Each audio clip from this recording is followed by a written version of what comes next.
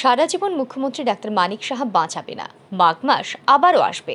মঙ্গলবার ব্যানারমার থেকে সাংবাদিক সম্মেলন করে সিপাহীজলার এসপি রেড্ডিকে এইভাবেই হুঁশিয়ারি দিলেন সিপিআইএম রাজ্য সম্পাদক জিতেন্দ্র চৌধুরী। সিপাহীজলার এসপির নাম করে বলেন, প্রকাশ্যে তিনি বলেন, এই রেড্ডির নেতৃত্বে গত বিধানসভা নির্বাচনেও প্রহসন হয়েছে। এর পাশাপাশি মুখ্যমন্ত্রী ডাক্তার মানিক সাহাকে ছাপ্পা ভোটের মুখ্যমন্ত্রী বলেও কটাক্ষ করেন তিনি। পাশাপাশি আরও বলেন, এই এসপি বিজেপির সাথে যোগ সাজস করে অধস্তন পুলিশদের ডিউটি বরাদ্দ করেন। লোক বুঝে কাকে কোথায় রাখতে হবে তা ঠিক করে দেন তিনি। এভাবেই গণতন্ত্রের নিধন চলছে রাজ্যে। এটা গণতন্ত্রের লজ্জা। রেড্ডি এখনও young officer young IPS officer তার ক্যারিয়ার বহু লম্বা। সারা জীবন তো মানিক বাঁচাবে না। মাঘ মাস আবারও আসবে। হয়তো ঠিক হয়ে যাবে।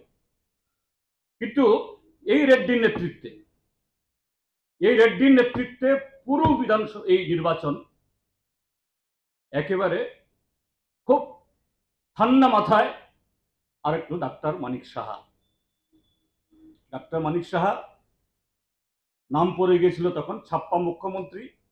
ভাবলাম তিনি তার ছাপ্পা মুখ্যমন্ত্রী, এই ছাপটা তিনি তুলে ফেলতে পারবেন। আমরা চেয়েছিলাম আমাদের মুখ্যমন্ত্রী তো এই নামটা না থাকুক, কিন্তু তিনি সে ছাপ্পা থেকে ছাপ্পা তুলতে পারলেন না এবং রেড্ডিকে দিয়ে এই অপারেশনগুলি করালেন।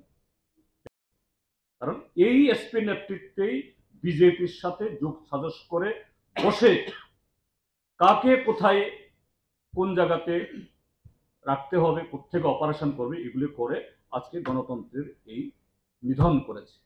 বামফ্রন্টের একজন হেভিওয়েট নেতার পাশাপাশি জিতেন্দ্র চৌধুরী রাজ্য সিপিআইএম দলের সম্পাদক বটে। এই পদমর্যাদায় থেকেও প্রশাসনের মর্যাদাপূর্ণ একজন আধিকারিককে এইভাবে প্রকাশ্যে হুমকি দিলেন তিনি। তার এই মন্তব্যে হতবাক রাজনৈতিক মহল। ব্যুরো রিপোর্ট, আর ই নিউজ।